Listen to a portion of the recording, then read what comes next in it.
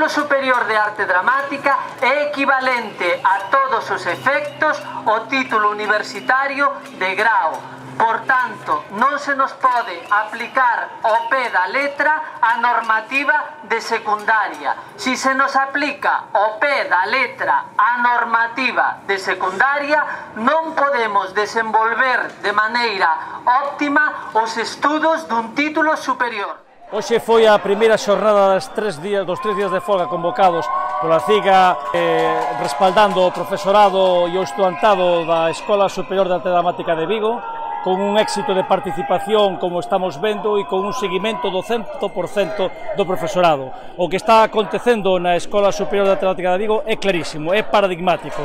Son recortes indiscriminados no ensino público e a desconsideración en todos os niveis da inspección educativa e da propia consellería. Estamos asistindo a un acoso e derrubo deste centro desde hai anos. Nos últimos cinco anos perdeuse un 20% do profesorado. Aquí había 42 persoas impartindo docencia provincia. A día de hoxe quedan 34 e a intención clarísima da Consellería é reducir a calidade da oferta educativa que ten a ESAD e desde logo desde a CIGA e o profesorado evidentemente xunto co, co estudantado non estamos dispostos a consentilo. Manteremos a presión, manteremos a loita e o objetivo final é que non existan recortes e que evidentemente os estudos superiores que se imparten neste centro teñan a calidade eh, que eh, ven demostrando nestes últimos anos. Non somos secundaria, somos universidade.